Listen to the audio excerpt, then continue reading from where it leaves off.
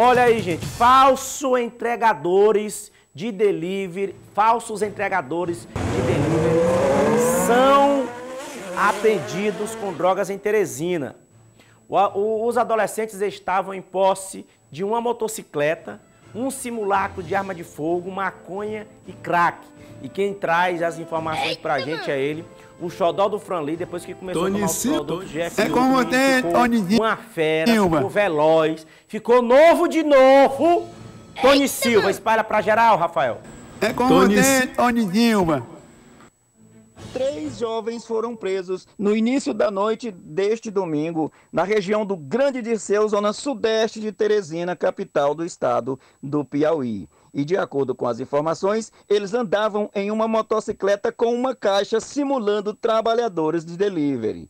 Ao avistarem a viatura da cavalaria da Polícia Militar, resolveram empreender fuga. Os policiais fizeram um acompanhamento e na abordagem foi encontrado com eles um simulacro de arma de fogo e várias trouxas de material análogo a maconha e crack. Os elementos foram conduzidos até a central de flagrantes para serem feitos os procedimentos cabíveis. Meu amigo Tony Silva não dorme no ponto, não! E Tony Silva, eles realmente é, faziam um delivery, só que era da maconha, só que era da droga, só que era do Na conversa. Aí, Tony Silva, Na a polícia conversa. bateu e não é conversa não, Tony Del. Tu não Silva. Viu, tu não viu as imagens? Tu acha que é conversa, Del? Não, Deus me livre, ele é homem. O, o, o quê? O Tony Silva?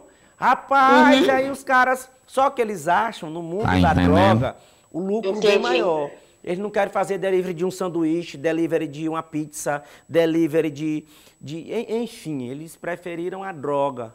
Mas a polícia está aí em cima Tá e entendendo? trazendo e mostrando o Entendi. resultado para a população. Tá Infelizmente, é uma profissão que eles queimam, porque Entendi. muitos pais e mães de família têm nessa profissão de delivery é, o sustento da família, levam para casa dali o sustento da família. Mas infelizmente aparece gente desse tipo aí. Cadê? Rapaz, cadê o Zé Potinho? Cadê o Zé Potinho, Tá rapaz? Valdecira, eu tenho um Zé Potinho aqui. Eu não sei cadê meu Zé Potinho, mas eu vou encontrar meu Zé Potinho e vai dar certo aqui, meu Zé Potinho. Bota dentro das calças do não precisa nem de moto. Vai bater lá em Altos e volta dentro de um minuto e meio. Eita, que desse jeito o Brasil só vai pra frente, desse jeito o negócio. É por isso que não quero ficar em meu lugar, que você só fala besteira. Uh, uh, uh, uh.